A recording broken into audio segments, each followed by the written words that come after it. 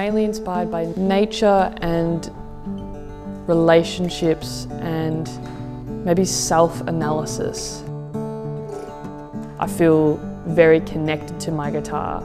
And I think because it's natural, I think because it's, it's wood and because it, it moves. Like if I'm in, playing in like a, in the snow, which I have done before, minus 15 degrees Celsius, the, the wood moves. And then if, but if I'm in, in the heat, if I'm in, I don't know, Queensland in Australia, then the wood will move back.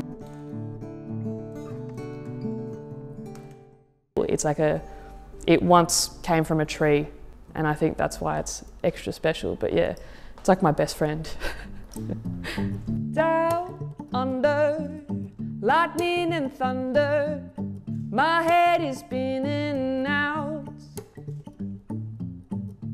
Come on, doctor, see this wonder. You've got me six feet in the ground.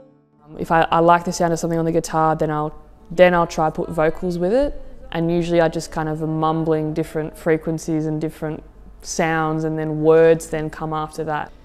Um, my favourite one, which is the title of the EP, Lion, is all about like just the epiphany that I had that um, us humans, we are all animals. And it was kind of like an enlightened thing that I experienced that um, I realised that we need to all start living more naturally and um, not like robots um, and remembering that we are all lions, we're all fierce animals.